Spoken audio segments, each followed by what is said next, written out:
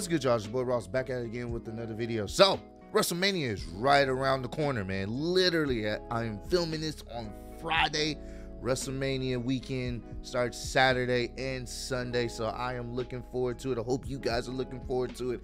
I can't wait. So it only makes sense to check out top 10 worst WWE WrestleMania matches of matches ever.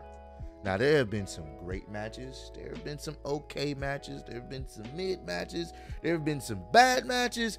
And then they've just been awful. Just what are we talking about? What is this garbage? Why is this on WrestleMania? This is not a WrestleMania match. No one wants to see this. Let's get on with the next match. We we've had those unfortunately. Not every WrestleMania is going to be great from top to bottom. Even some of our favorite WrestleManias definitely has some dud matches. That's just what it is. It's a part of the show. So we're gonna check out some of these awful matches. Appreciate all the love and support you guys are showing on the channel.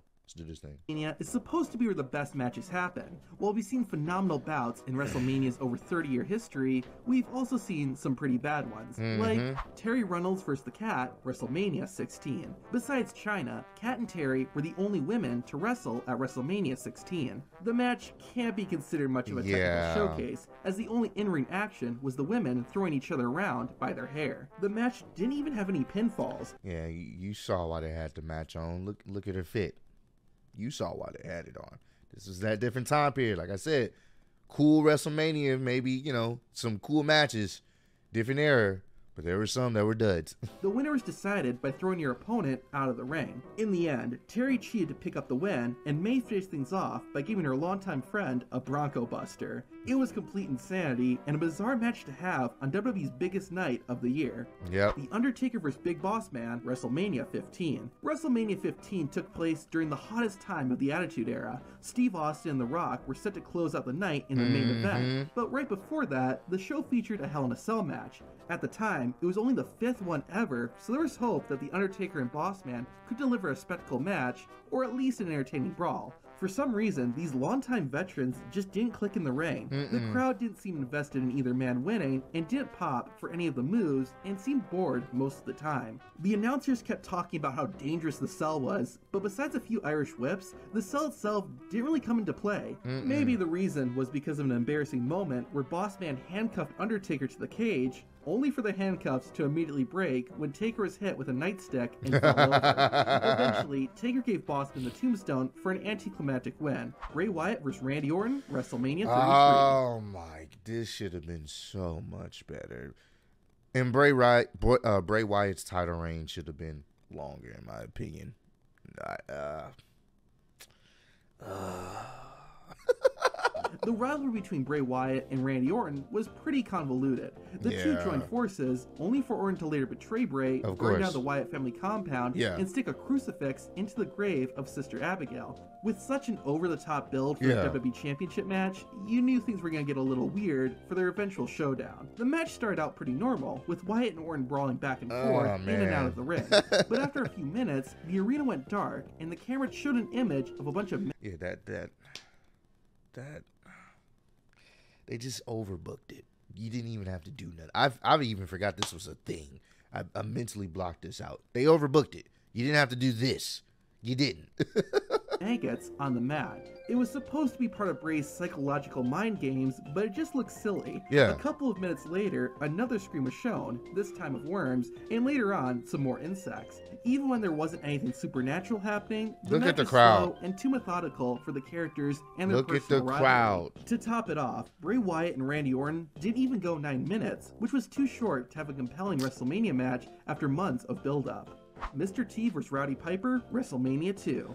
Mr. T came in to continue Sucks. the feud with Roddy Piper, but the two decided to settle things in not a wrestling match, but a boxing match. Uh-huh. When the bell rang, Piper and Mr. T threw a bunch of sloppy looking punches and kept pushing each other into the corner. In the most infamous moment of the match, T went for a big left hand punch, which clearly missed Roddy Piper, but he got knocked down anyways. Finally, Piper was taking a bunch of punches, got frustrated, then decided yep. to break out a body slam, getting himself disqualified. With ring introductions, the whole spectacle of Piper vs. Mr. T lasted nearly 20 minutes and resulted in a cheap ending. The yeah. lesson that was learned don't have a boxing match at a show called WrestleMania. Are you sure about that? yeah. Oh! Jake Roberts versus Rick Martel. Yeah, they're they're shoot fighting, they're shoot boxing matches. No, just let's just not do that. oh, WrestleMania 7. The storyline of Rick Martel blinding Jake the Snake was a classic of its time, but every big rivalry has to have its payoff, and WWE chose for the two veterans to settle things in a blindfold match. With wrestlers unable to see, it was Unable to see. impossible for them to put on a good match, and Roberts and Martel didn't even come close. Besides a couple of body slams and a DDT, there was virtually nothing to this match. A blindfold match may have sounded unique at the time, but it was a boring mess in execution. yeah. Bret Hart versus Vince McMahon, WrestleMania. This infamous match right here, Vince too. McMahon and Bret Hart had a bitter and incredibly personal feud dating back to Survivor Series 1997. Mm-hmm. While this match seemed perfect given the real life hatred, it fell apart for a couple of reasons. Mm. Years earlier, Bret Hart unfortunately suffered a stroke, making him unable to do much in the ring. Yeah. That alone set the match up for failure, but WWE managed to make it even worse. In the storyline, Vince McMahon made it a lumberjack match and paid the members of the Hart family to serve as lumberjacks. Fans didn't buy into the idea that Bret's own family would suddenly turn their backs on him. And of course, they didn't. Before the bell even run for the WrestleMania match, it was revealed that the Hart family was still together. As the match started, Bret threw some punches and stomped away at his former boss and then threw him to ringside. The Hart family beat up McMahon some more, even hitting him with a Hart Attack on the outside. Jeez. From there, Bret started hitting Vince repeatedly with a crowbar. Hart then picked up a chair and continued his opponent with it over and over again. It went on way too long. And Yeah. by the end, the crowd definitely didn't care about the match. In all, Vince didn't land a single offensive move against Bret, in a match that could have been incredibly entertaining under Yeah, it should have. They should have did it. They once again got overbooked, a little sloppy, but we just want to see Bret kick the shit out of Vince McMahon. That's it. Quick, straight to the point. Should have been like maybe a ten minute match if that crowd would have still been hot for it. Would have been a cool little pop, cool little moment, and everybody going about their day. different circumstances, failed to deliver a memorable showdown.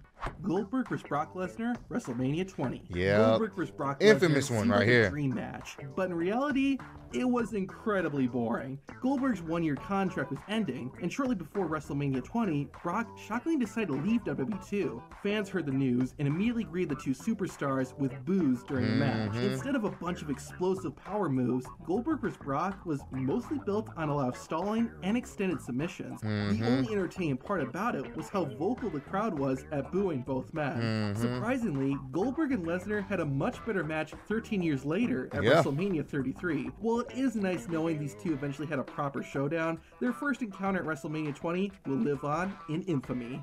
For the wrong Undertaker reasons. vs. Giant Gonzalez, WrestleMania 9. Giant Gonzalez had recently made his WWE debut. The company had big plans for him and had him wrestle against Undertaker at WrestleMania 9. That's crazy as how tall as the he bell was. rang, it was clear that Gonzalez didn't have any wrestling ability. Gonzalez also had really goofy facial expressions every time he was hit and didn't seem to know how to sell any of Taker's offense. The match made It's it's really crazy because it's it's a big ass dude in a bodysuit with muscles on the bodysuit. It's kind of wild. Consisted of some punches, a lot of taunting, and a lawn headlock. Even the ending was awful, as Gonzalez used a rag full of chloroform right in front of the referee, leading to a disqualification. When WWE looks back at Undertaker's WrestleMania streak, they often overlook this match, and oh. probably for good reason. Where the chloroform came Royal, from? WrestleMania 25. Oh, it's arguable boy. that WrestleMania 25 has the best WrestleMania match ever. but Facts. It also had one of the worst WrestleMania matches as well. Yep, it was a bad start from the unfortunately. start when none of the wrestlers even received an entrance.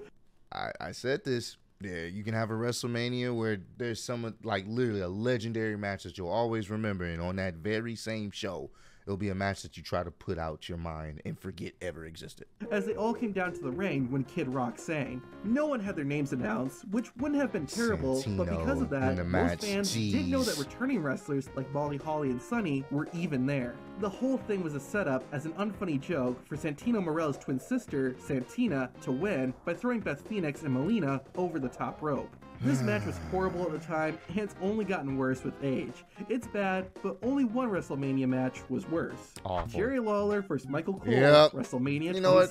That's a good Despite number one spot. His WWE debut in 1993, Jerry the King Lawler never had a WrestleMania match until 2011. Unfortunately, the King didn't have a fellow legend or an up-and-coming wrestler to take on.